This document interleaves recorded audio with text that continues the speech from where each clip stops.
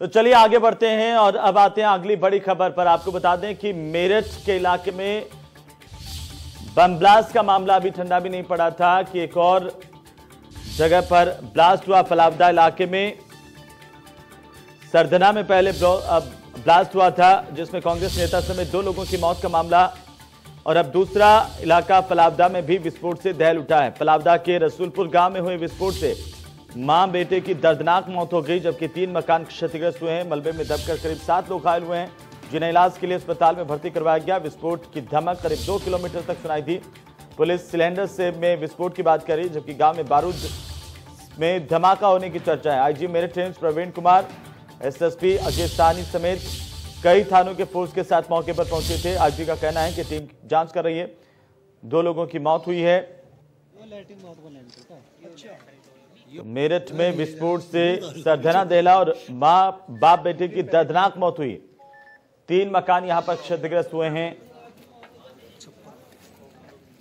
और इसी बीच ज़्यादा जानकारी के साथ हमारे सहयोगी सनुज हमारे साथ जुड़ रहे हैं। सीधे उनका रुख करेंगे, सनुज, बम धमाकों से मेरठ का इलाका दहल उठा। आखिरकार अब क्या कुछ जानकारी है? पुलिस के अपने तर्क हैं, स्थानीय लोगों के अपने तर्क हैं।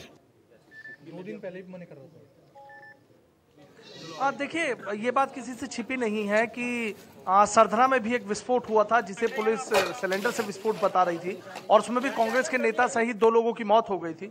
अब देहात का ही दूसरा इलाका है, फलावदा का रसूलपुर गाँव। वहाँ पर भी रात के वक्त विस्फोट हुआ, और विस्फोट इतना ज़बरदस्त था कि एक मकान पूरी तरीके से क्षतिग्रस्त हो गया, और पास के जो तीन मकान है, उनमें भी जो छत है, वो गिर गई है। एक मकान की दीवार गिरी है, जबकि कई मकानों में दरारें आ गई हैं। जिस नासिर के घर के भीतर ये विस्फोट हुआ, उनकी मौत हो गई, और उनके बेटे फैजल की भी मौत हो गई, जबकि आधा दर्जन से ज़्यादा लोग जो गंभीर रूप से घायल हैं उनको अस्पताल में फ़िलहाल इलाज चल रहा है। आईजी प्रवीण कुमार, एसएसपी अजय सानी समेत तमाम पुलिस के आला अधिकारी मौके पर पहुँचे, कई थानों की फोर्स भी मौके पर पहुँची, और घंटों के रेस्क्यू के बाद मलबे में दबे लोगों को बाहर निकालकर अस्पताल में भर्ती कराया गया। देखिए, दो तरह की बातें निकलकर सामने आ रही है। पुलिस अधिकारियों का फ़िलहाल ये तर्क है कि दो गैस सिलेंडर फटने से धमाके की बात सामने निकल कर आ रही है, जबकि पूरे गाँव में चर्चा है, और पुलिस भी इस बात को मान रही है कि हो सकता है कि जो पटाखों का बारूद रखा गया हो, उसमें विस्फोट हुआ हो, और उसकी वजह से ये एक मकान गिरा हो और तीन मकान क्षतिग्रस्त हुए हो।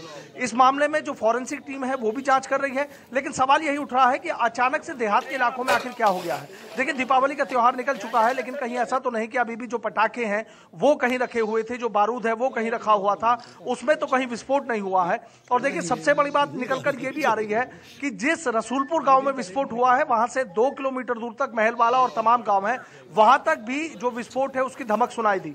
तो सिलेंडर से विस्फोट की बात भले ही पुलिस कह रही है, लेकिन गाँव के जो लोग हैं इसे सिरे से खारिज कर रहे हैं। अब फॉरेंसिक टीम जाँच कर रही है, तमाम पहलुओं पर जाँच कर रही है, तमाम सबूत जुटा रही है, और हो सकता है कि उसके बाद पुलिस के आलाधिकारी जल्दी इस बात का खुलासा करें कि आखिर ये विस्फोट था क्या।